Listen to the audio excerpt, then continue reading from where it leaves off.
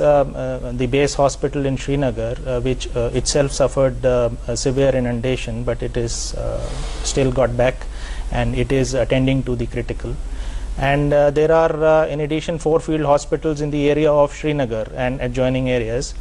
Uh, there are plans to move up another field hospital from the hinterland and need be another one beyond that.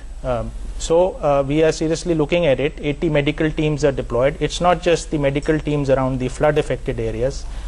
Wherever the army is deployed, wherever there are company bases on the borders, uh, the medical teams have been told to reach out to people Right. and uh, provide necessary uh, medical assistance. So my, my last question to both of you is, uh, yes, quickly, sir. Yeah, after them because they are the key players. I would, Yeah. I would only go after Quick, them. quickly, sir. Uh, wha- you want to say something? See, I, I want to yeah, say a very simple thing. Yeah, that Yeah. you know, uh, this is a short-term calamity, as I said, Yeah. and this will pass out as a bad dream.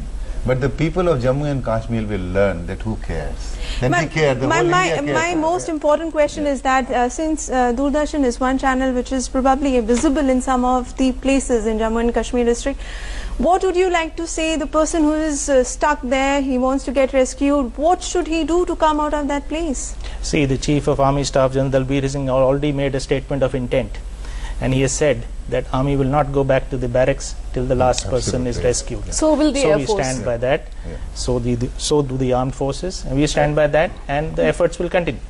Yes, sir. Uh, no, I'll, uh, uh, you know, uh, the thing is that, uh, yes, we are doing a very good job, but only thing is from this, uh, what is the lesson which you have learned?